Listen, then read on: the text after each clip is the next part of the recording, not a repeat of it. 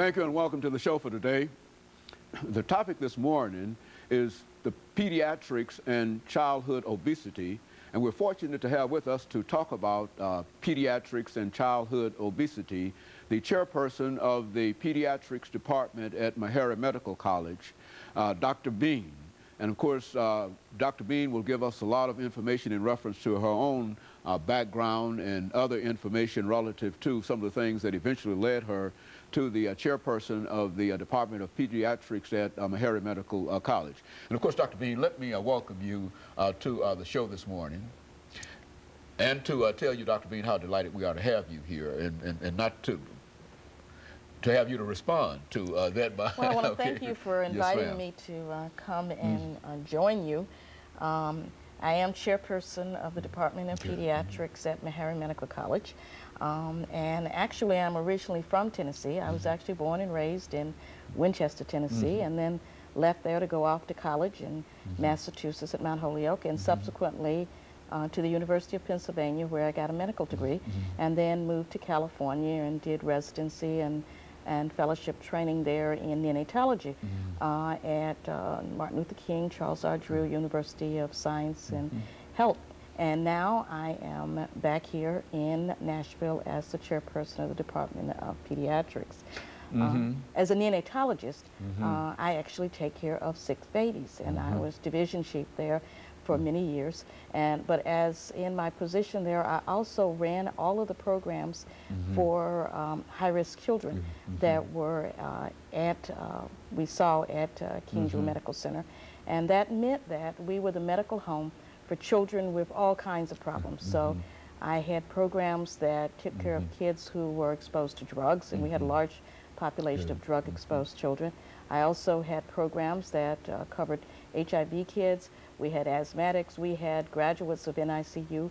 So we had a whole variety. We were the medical home mm -hmm. for children who had um, potentially uh, serious medical problems mm -hmm. in South Central Los Angeles. Mm -hmm. And so uh, I was then asked to come as chair of the Department of mm-hmm. Pediatrics at Meharry Medical College, which of course was a great honor mm -hmm. because of course having been born and raised Good. in uh, Tennessee, mm -hmm. I knew about Meharry Medical. College and always assumed that at some point in my life mm-hmm. I would be here.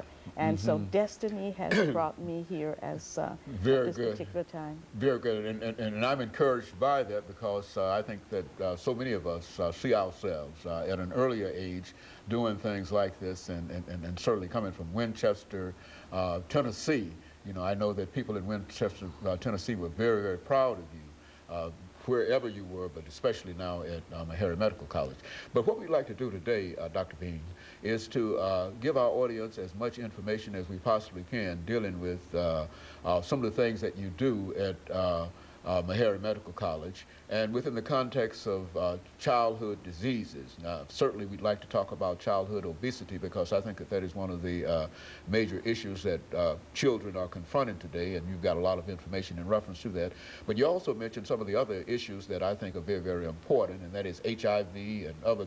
Let's talk about it from your perspective. Anything that you'd like to say in reference to some of those diseases? Well, Meharry Medical College Department of Pediatrics and our pediatric clinic is located at Nashville General Hospital. We also have one up at 1919 Charlotte as well. Mm -hmm. But we take care of children from birth all the way up to 21. Mm -hmm. And in fact, we actually see children who are even older than that. We have an adolescent program, mm -hmm. and we will see children as old as 24. Now, I know a lot of people don't think of children, childhood as going yeah. that far, but adolescents are a particular group um, of children with their own, or young adults, I should say, mm -hmm. with mm-hmm. their own unique set of problems. Mm -hmm. So we represent a medical home for children all the way from birth mm-hmm. through uh, adolescence. Mm-hmm. And at our clinic, we are able to see all of those children, and we specifically focus upon health disparities.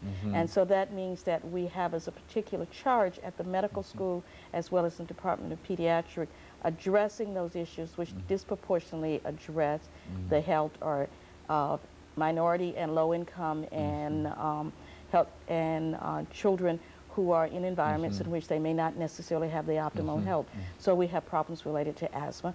We have problems related to drugs. We have problems uh, related, as we said, to HIV. And of course, childhood obesity, which is a particular problem uh, in that particular population. Very good. Of course, we're getting ready, uh, Dr. Bean, for our first commercial break, after which we'll come back and give you an opportunity to uh, perhaps talk about uh, some of the uh, childhood diseases. I think it has been said that uh, many of us often think of uh, children uh, as uh, small adults, and we never think in terms of the kind of difficult me different medical treatments that are required. And so you might want to deal with that during this second segment. And of course, we'll, excuse me, we'll be back with our audience following this very, very short commercial break.